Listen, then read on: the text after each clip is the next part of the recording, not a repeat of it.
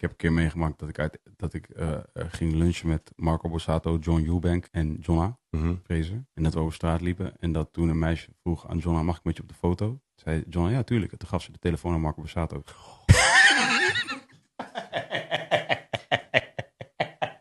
Wauw. Ja. Ik heb dat met dingen. We ik heb het- taking ik heb over. Ik, One photo ik heb met ehm, Seven en Kevin heel veel gehad vroeger. In het Mhm. begin.